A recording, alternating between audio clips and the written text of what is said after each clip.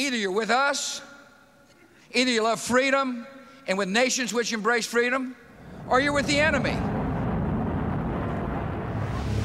When September 11th happened, which was just a few blocks away from my office, I really felt that my backyard was burning. My reaction wasn't to say, um, rah rah, you know, you're either with us or against us. I mean, that was not my, that wasn't my inclination. My inclination was to say, okay, how can I help to contribute to cleaning up this burning backyard, given that I'm an Israeli citizen, given that I'm also Jewish, given that I'm here in New York, um, what's my role? And that was the beginning of the research that led to founding Just Vision, which um, highlights Israeli and Palestinian civilians engaged in nonviolence and conflict resolution work. I spent two years interviewing Palestinians and Israelis on the ground who were working as human rights defenders, as peace builders, as nonviolence leaders, to really understand what they needed, what they were missing, um, what they felt they could use as support from the international community. And the overwhelming response that I got was that people felt invisible. They felt that they were the only people doing the work that they were doing. They felt that nobody knew about them or cared. And they wanted access. They wanted access to the media, to their own communities, to the international public. And so after that, I was convinced that I wanted to fuse human rights work with documentary filmmaking, the creative and the political, in a way that advanced some sort of social change agenda. Our first film is called Encounterpoint.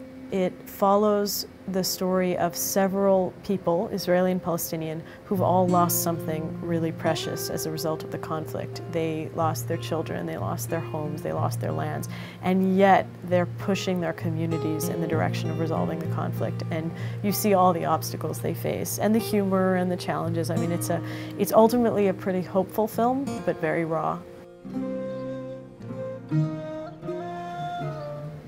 I realized how much I had not been exposed to, how many um, complexities my educators had failed to, to grapple with and had failed to really reveal.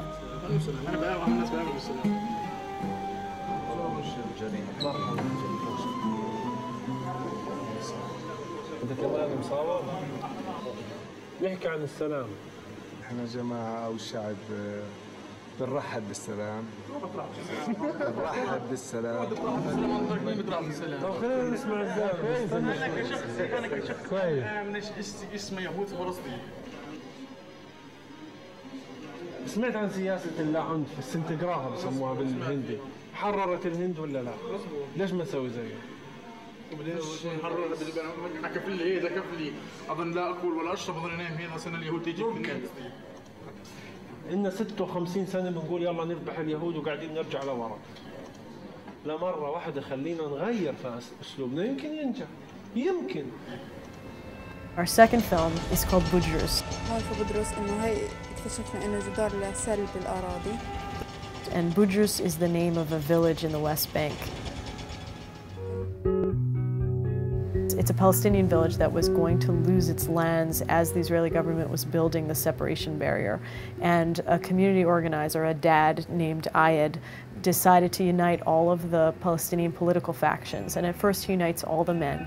اليوم أنتم مدعوون لمسيرة سلمية And they tried to do something about it non-violently and they failed.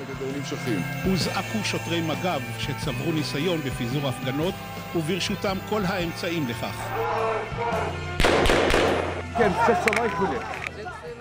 And then his daughter, who's 15, basically comes up to him and says, you know, Dad, where are all the women? And he said, well, if you want women, organize the women. And so she does, and she brings all the women to the front lines.